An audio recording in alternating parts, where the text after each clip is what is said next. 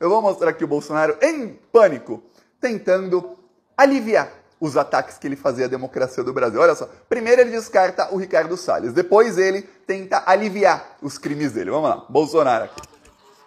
É o Ricardo Salles. Não, não está definido o nome, não. Mas é a sua preferência. Não, não, não, não está definido o nome.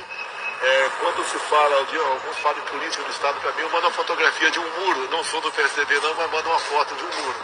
Então tem bons nomes aqui. O prefeito é uma pessoa que também está é, tá simpática nossa. O Ricardo Salles tem suas qualidades, mas a, a, será um nome apenas. Ou seja, deu ruim.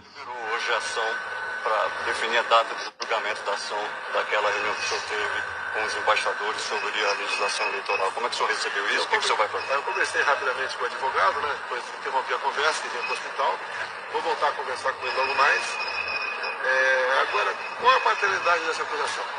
É, dois meses antes de mim, o ministro Fachin, que estava no TSE, se reuniu também com os embaixadores. Agora a culpa é do Fachin. Essa sua conversa com os embaixadores, dizendo para eles, né? Tão logo o resultado das urnas apareça, é, seus respectivos chefes de Estado reconhecem imediatamente o resultado das eleições. E a, e a conversa do Fachin com os embaixadores, que é uma política privativa minha, conversar com os embaixadores, é, eleitoral brasileiro. Eu convidei os embaixadores, foram 60 compareceram, estava aberta a imprensa, essa conversa nossa, não foi nenhuma crítica. Foi um monólogo. Como era, como era o nosso sistema eleitoral. E foi por aí. Não houve ataque à justiça eleitoral, foi mostrar como era. Até perguntei lá se claro alguém tinha algo parecido no seu respectivo país. Não tinha. O país era bem teste disso. E a conversa foi desse nível aí. Eu acho que foi o PDT, falou com uma informação dizendo que eu não podia ter feito aquela, aquela, aquela reunião. Foi feita, é a política privativa minha, está na Constituição, tratar das questões externas, né?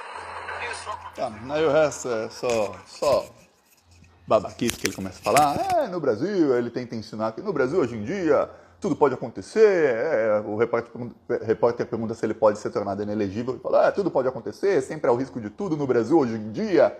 Hoje em dia, vai entender como, ah, nossa, agora eu não sou mais presidente, a coisa, ah, as pessoas são perseguidas. É isso que ele tenta falar depois. Tá, aí você vê aí que eles, não, o Faquin se reuniu com os embaixadores, isso é uma coisa do presidente, então eu fiz também reunião. Não houve ataques. Ele falou 40 minutos atacando as urnas, tá, tá gravado o negócio. A coisa foi tão feia que o Bolsonaro queria que o, que o então chefe do exército falasse depois dele, ou que o ministro da Defesa falasse depois dele, e eles não falaram. Por quê? Porque ninguém aplaudiu o Bolsonaro. Então, o, a, eu lembro que na época, eu fiz, fiz vídeo aqui e tudo mais, mostrando que o, o, o esquema era, o Bolsonaro ia falar uns 25 minutos, depois falava lá o general Paulo Sérgio. Tá, o Bolsonaro falou mais de 40 minutos e o Paulo Sérgio entrou mudo, saiu calado, os embaixadores não aplaudiram, ficou um climão, o Bolsonaro saiu com cara de bunda, todo mundo ficou assim, o que, que acabou de acontecer aqui? O que, que, é isso? Como é que chega um país, o presidente vai lá falar isso em, em rede nacional, não, em rede internacional? O que, que, é isso? Pois bem, aí ele diz que foi uma conversa. Pois bem, já já ele vai poder conversar com os comparsas dele lá na Papuda ou lá em Bangu 8, porque esse é o destino do Bolsonaro.